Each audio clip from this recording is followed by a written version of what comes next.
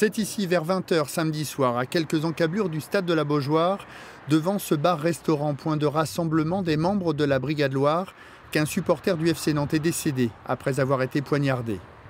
Ah tout, est, bien cabossé, mon radiateur aussi. Donc, euh, David Tan fait partie des sept chauffeurs VTC avec à son bord des supporters niçois qui se rendaient au match. La suite, il nous la raconte. La meute qui est arrivée, c'est un essaim d'abeilles. Cagoulé, jaune et, vert. Je les connais, les mecs de ABL.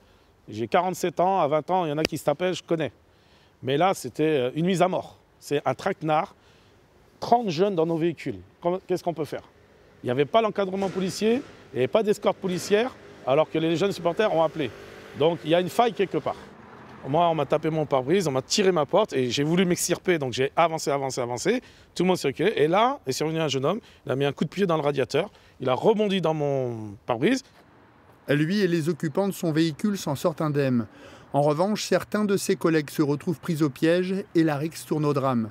Un supporter de la Brigade Loire est poignardé par un des chauffeurs et décède quelques instants plus tard. J'en ai pas dormi de la nuit parce qu'on est responsable, on est VTC, d'autant plus que je porte sur mes épaules euh, le poids d'être euh, porte-parole des VTC.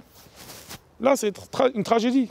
Il va falloir comprendre d'où vient la faute pour pas accuser que ce soit les mecs de ABL ou nous-mêmes. C'est une situation à l'heure actuelle. Il y a trop de violence.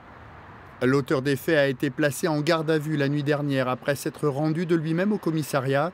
Ce dimanche après-midi, une trentaine de supporters sont venus rendre un dernier hommage sur les lieux du drame.